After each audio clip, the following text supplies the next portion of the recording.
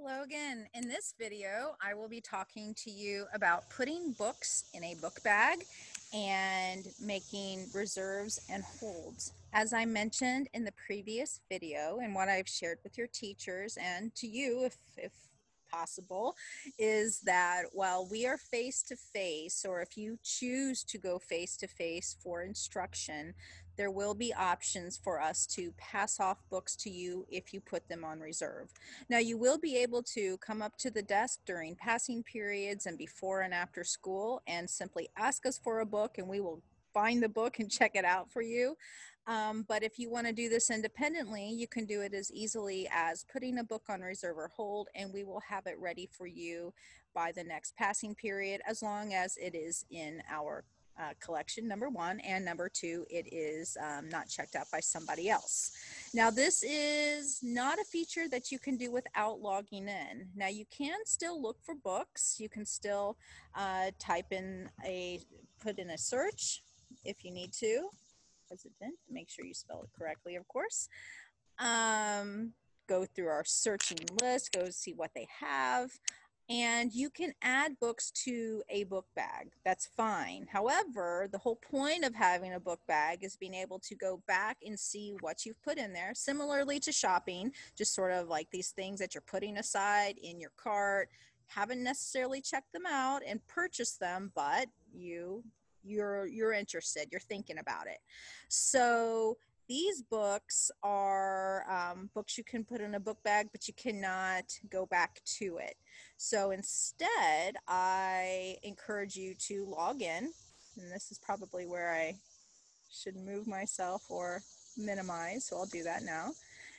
And you want to go to your book bag. So you want to go to your book bag after you log in. And when you log in, you're going to use the same login that you've been using since middle school, how you access your, um, how you log into your computer. So same login, same password. And once you log in, you can then access your book bag. Now, um, I'm going to go ahead and look at a book bag of a student. And um, this is something that they already have added, but once you have a book bag, you can go ahead and keep on adding to it. So we'll go ahead and start from scratch. I meant, I uh, mentioned that this person has books in his book bag, but we'll go ahead and do a little more just so I can show you how simple it is.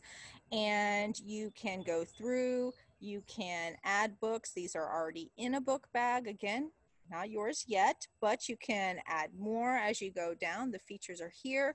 You can also do this if you go and click on the actual cover. If you go onto the cover, you can get more information. You can put a reserve or hold here, add it to your book bag, or you can look for more information. So you can look at details related to the book. It gets a little, um, scientific and data heavy, but you can also look at reviews. You can look at different contents within the book. You can have a profile of um, the um, the, focus of the book as in like in this case it's a biography so a profile of him. In this case uh, lincoln you can go and learn more about the author. Another thing i really like about this is that if you go into suggestions it will give you a um, in this case not a lot here but if you go to suggestions you can click on any of the links say you want to know more about new york and then that will show you every book we have in our collection related to new york. So it is just um, yeah it just kind of unfolds in itself with all these different options. But this is where you can add to your book bag if you have not already or you can go ahead and go back to your search results and see what's there.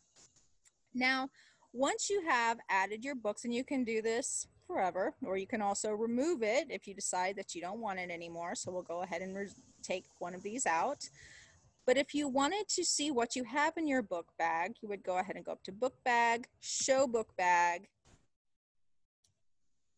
And if you decide once it's in the book bag that this is something that you want to check out, it's just as simple as clicking on the title, or I'm sorry, the cover.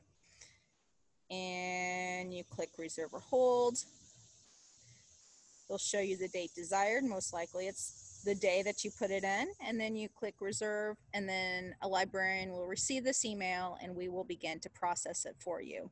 And so it's really just that simple. You can go in, you can look at your account, you can see what you have on hold. You can also cancel reservations here if you decide that you don't want them. You can also go to your book bag and you once you show your book bag, I said that you could take some things out individually, but you can also take out books. You can just empty your book bag and that will get rid of everything and you can have a fresh start. But this is um, a very simple, straightforward feature that will allow you to communicate with me.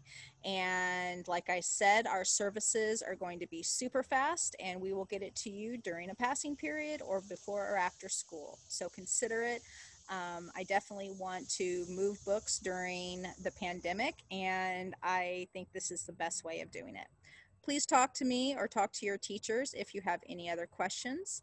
And I look forward to seeing your emails. Thanks.